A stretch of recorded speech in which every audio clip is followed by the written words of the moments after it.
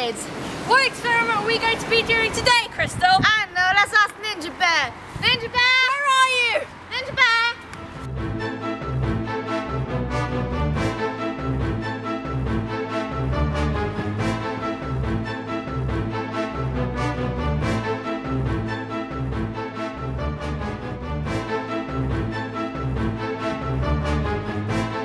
Okay, fine. Here you go.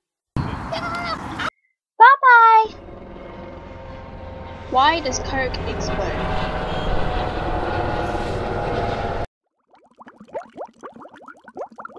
Let's get started. What you will need Diet Coke, two packets of Mentos. You have to add the Mentos into the Diet Coke. Om nom nom nom. And explodes. Let's take a closer look at the Mentos. Mentos are made with holes on the surface outside, and it speeds up the reaction. This is carbon dioxide as the result, and explodes. This is our lovely, wacky scientist.